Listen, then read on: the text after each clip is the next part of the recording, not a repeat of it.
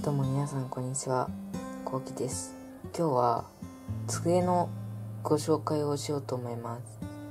はい、机のご紹介というか、机の上のものを紹介しようかなって思います。そういうことでやっていきます。はい、まず机はこんな感じになっております。はい、ということで、まずこっちから紹介します。こっちはですね、この暗記カードですね、と、この赤シート、これは本当に必要です。中学生の方とかは、本当にね、暗記シートを使って、こう、隠してやると、本当に覚えられるので、ぜひ皆さんやってみてください。あとは、この無印のメモパッドと、スマホの置くスタンドですね。これを置いてます。あとちょっとここがすごい汚いんですけど申し訳ございません。でこれですねはい。でこちらのあのデスクライトになります。こちらのものですね。でこれを押すと、はい、すごい明るくなります。で次がこんな感じ。で一番ちっちゃいのがこんな感じ。で消えるって感じです。3段階になっています。で、ここにマイクがいます。これはディズニーで買ったキーホルダーですね。目とかが動くやつです。で、これはビレッジヴァンガードで買ったすっごい可愛いステッカー。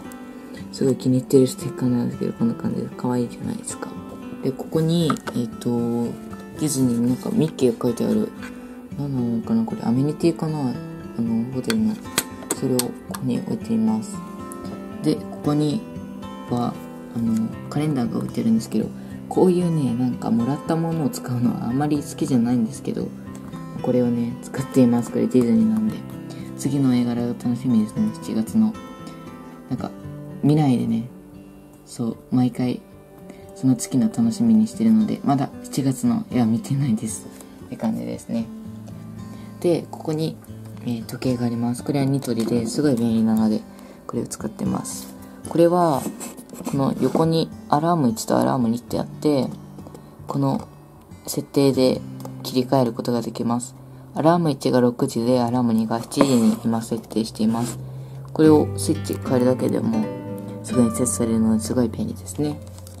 で、ここにマウスと、これもワイヤレスのキーボードですね。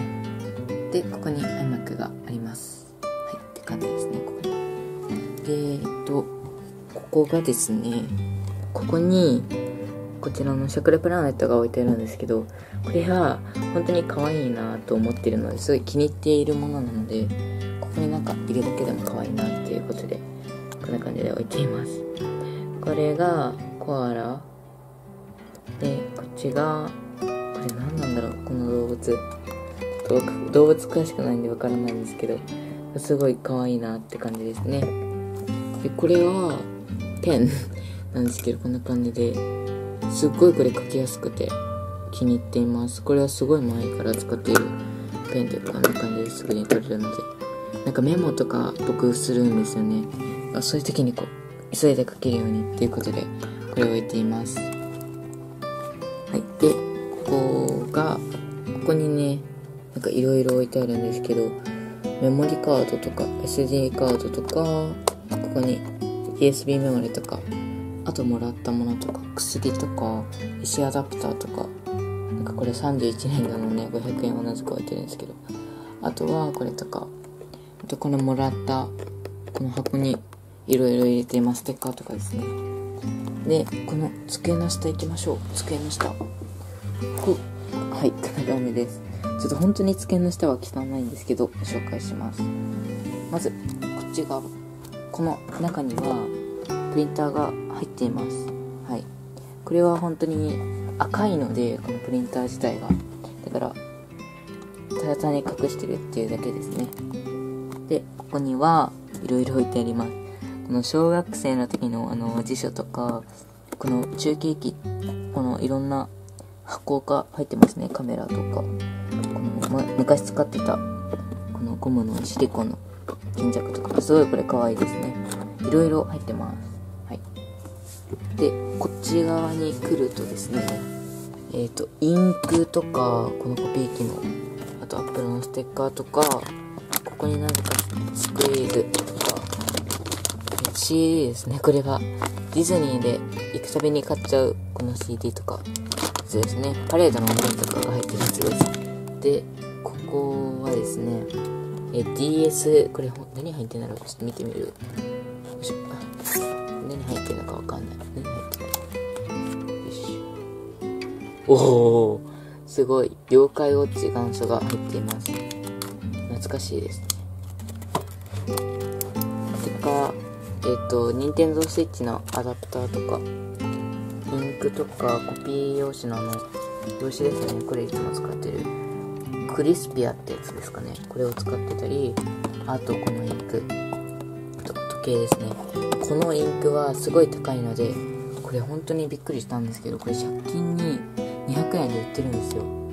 この普通のインクだと6000円とかするんですね。1個で。だからこういうので買おうと思ってこれ買いました。いやこれ本当にいろんなとこ探してねやっと見つけたんでよかったです。東京とかだとあると思うんですけど ここら辺のダイソーとかだとねないので。はい。でここにこんな感じで箱があって下にケーブルって感じです。はい。あとはこんな感じですね。下はあんまり物置きたくないなと思ったんですけど結構このコピー機がね場所を取っちゃってるんであれですね。って感じです。じゃあちょっと全体的に見るとこんな感じの机になっています。でちなみにこの机なんですけどもともとすごい白いやつで結構あの子供の頃っていうかすぐあの小学生の頃汚していてだからこういうねリメイクシートを貼っているんですけどはい。まあ結構いいなっていう感じですね。今度また模様替えっていうかしようと思うのでその時はまた動画にしようと思います。はい。ということで今日はこんな感じで机のご紹介をしました。もしこの動画が良かったらチャンネル登録よろしくお願いします。ということで、また次回の動画でお会いしましょう。さよなら。